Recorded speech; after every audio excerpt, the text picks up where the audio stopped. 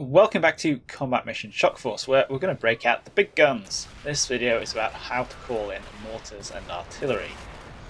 These two types of weapons are the big killers on the battlefield, and if they're available, you want to be getting the most out of them. So we're going to have a look at how the call for fire process works, what the options are, and the impact of different types of artillery doctrine and spotting units. And of course, although what you're going to be seeing is the Steam version of Shock Force 2, this works the same way across all combat mission titles.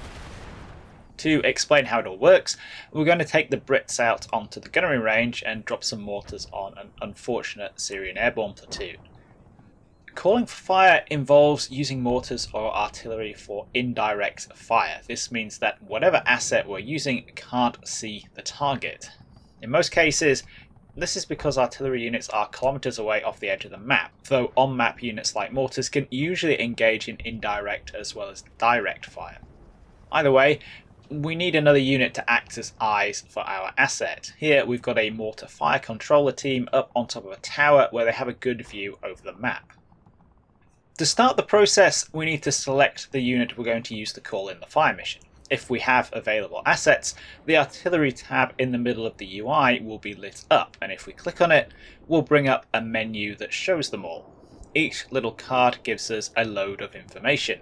We get a silhouette of the asset, we can see that this one for example is an L16, we can see that it's an 81mm mortar, and we can see that this particular asset is on map. If we can't call for a specific asset, the game will let us know. Our first on-map mortar is set up and ready to go. Our second isn't set up. We would have to deploy it before we can use it. Our third mortar is a Syrian 82mm mortar. I substituted in using the editor and it is out of contact because Syrian mortar teams don't have radios. This doesn't mean that we can't use it in the indirect role. If the spotting unit is close enough, they can just yell at them but here we can send the mortar section HQ over in a Land Rover, and because the section HQ does have a radio, he can act as a relay and the Syrian mortar becomes available. This is more of an issue in the World War II combat mission games where radios are obviously much less common, but it can also crop up in Shock Force if you're playing as the Syrians or if your communications are getting jammed. On-map assets are always represented individually. Because we have three mortars in our mortar section, we have three mortars to choose from. Very simple. Off-map assets, on the other hand, are lumped together. We have an off-map mortar section in the menu too. This shows the number of individual tubes on the left above the unit designation and has a line of six green circles under the silhouette. These circles are a representation of the asset's individual tubes or barrels. In this case, we have three mortars, so each one is represented by two circles. When they're green, they can fire at their maximum rate. If they turn red, then the tubes are starting to overheat, and the asset can only fire at its sustained rate. Each support choice has its maximum and sustained rates of fire detailed in the game manual. If we select one of the on-map mortars and look back towards the mortar platoon, we can also see that the unit icon for that particular mortar is flashing, so we can tell exactly which mortar we've got selected. Selecting the unit also brings up some more details in the center panel. Again, we get the unit card for the mortar, but underneath we can see the types and quantity of ammunition it has. In this case, 35 high explosive bombs and 5 white phosphorus bombs. In the top right of the unit card, there is a coloured shape which represents what the manual refers to as the matchup rating between the spotter and the asset. Probably the best way to conceptualize this is to think of it as an indicator of how many hoops the spotter has to jump through to call for the asset. Our spotter here is the A Company mortar fire controller, and the asset we have selected is one of A Company's mortars, so here we have a very good matchup rating, a bright green circle, because our spotter's job is literally to call on these specific mortars. The upshot of this is that we have a very short delivery time. Down at the bottom of the center panel, we can see that it's just two minutes. If we select a different asset, then we'll have a different matchup rating and the delivery time will change. These mortars are B Company's 81mm mortars, and they take 3 minutes to call in because they're not A Company's organic mortars. Our A Company mortar controller has to basically get permission to use them from B Company. It's still a pretty good matchup though, we're still in the same battalion so we still have a green circle and a pretty fast call-in time. Our mortar fire controller has a worse matchup with these 105mm light guns. The call-in time has increased to 6 minutes and we have a yellow triangle that shows our spotter and the light guns aren't as closely linked.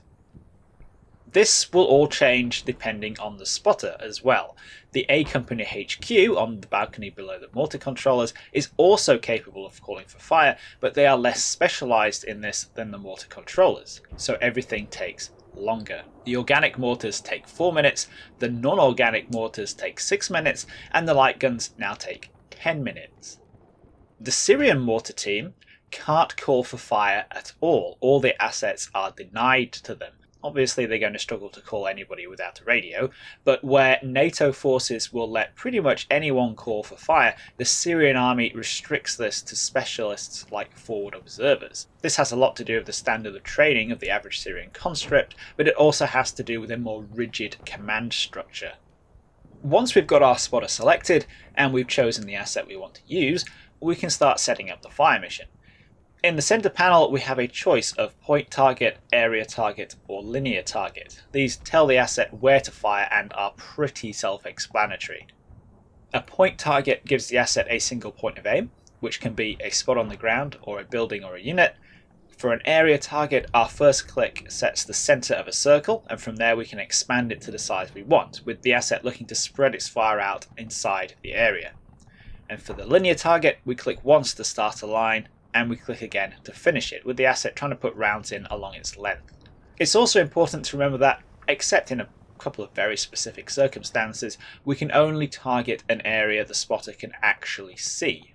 So getting your forward observers into good positions with good fields of view, or with a line on parts of the battlefield that are important to your plans is absolutely key.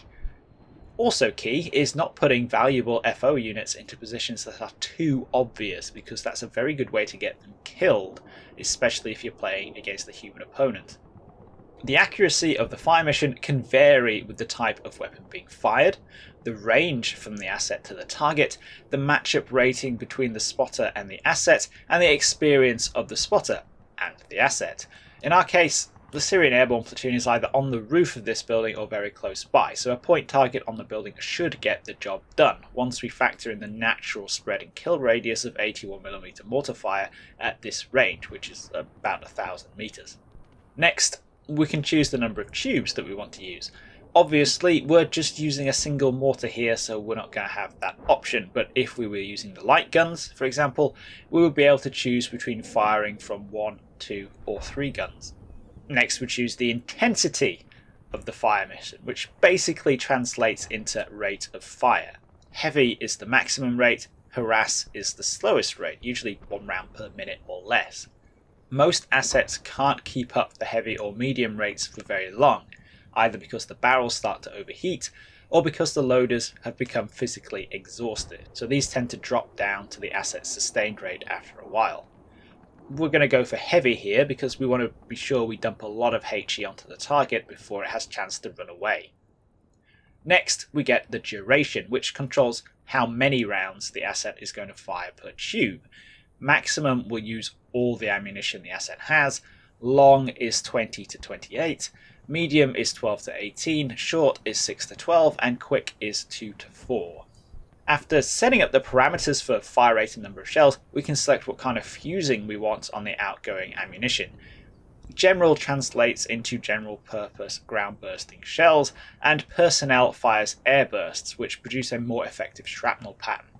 In the modern titles, air bursting shells are usually detonated by proximity fuses at a pretty consistent and effective altitude, in the World War II titles, air bursting shells are generally detonated by timers, which may or may not be correct, so they are somewhat less reliable and may have ground bursts or early detonations mixed in, unless you're the Americans and you're using the VT fuse in the late war. Sometimes armour also appears as a third option. It's a little unclear as to exactly what this does, but it's probably some kind of contact fuse with a slight delay or something like that. Honestly, I've never really used it. It's quite difficult to actually hit tanks with artillery. Not all assets have access to all three options. Some shells are simply too small to accommodate certain types of fuse or warhead. Here we're dealing with an infantry target, so we're going to go for personnel. Finally, there is sometimes the option to incorporate a delay of 5, 10 or 15 minutes into the fire mission, which can be handy if you're trying to coordinate things. With all these details locked in, we can press confirm and the spotter will get on the radio to the asset. If we check the support menu, the mortar we're calling in is now marked as receiving, and we have two green lines on the map, one from the spotter to the target, and one from the asset to the target. We've also got the option to cease fire if we need to. We can also see that our spotter can only call in one fire mission at a time. The other assets in the menu are marked spotter busy to show that we can't call on them right now. It takes a while for anything to happen once we kick the turn off but the fire mission is progressing behind the scenes. At about the 30 second mark, the mortar team we're using gets a green line to the target and we get an audio cue. This indicates that the spotter has passed the information for the fire mission to the mortar team. 45 seconds into the turn, the mortar team has processed the information and starts to react, turning the mortar to face in the right direction and then starting to adjust the elevation. At the end of the first turn, we've now moved on from receiving to spotting, and we've also got the option to adjust the fire mission if we want. On turn 2, the mortar fires a spotting round. This is basically a single shot for the spotter to check that the asset is on target. The first one lands a little short and off to the left. It's also a ground burst, even though we ordered a personnel mission. Ground bursts make more dust and smoke, so they're easier for the spotter to notice. We get a little delay while the spotter passes this information back to the mortar and issues a correction. Then the mortar adjusts its aim a little again and fires another spotting round. This second round is much closer. The spotter gives a final adjustment and then orders the asset to fire for effect. This kicks off the fire mission proper, Soon the mortar team is throwing 81mm bombs down the tube as fast as they can, and rounds start bursting around the target, leading to some unpleasantness for the Syrians. The spotting phase in this instance was pretty fast, with the main delay being the travel time of the spotting rounds. This isn't always the case. Here the terrain is flat and open, so our spotter could easily see where the spotting rounds were coming in. If the spotter can't see where they land because they are wildly off target or because of the terrain, then he'll carry on asking for spotting rounds until he finally sees one.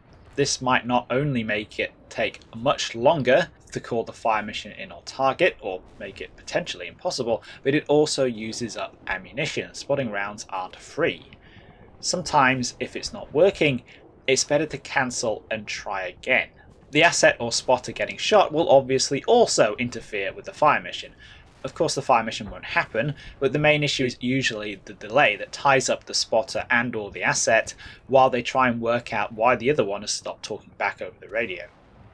Obviously this is a very flexible system and it's possible to create pretty much any kind of fire mission that you would like this is already much much longer and more in depth than I intended it to be. So the more advanced artillery stuff like smoke missions, precision missions, target reference points, and pre-battle bombardments are going to have to wait for another time. If you can get to grips with the basics here though, you should be able to work them out easily enough. They're pretty self-explanatory. Hope you all enjoyed this video and found it useful. I'll catch you in the next one.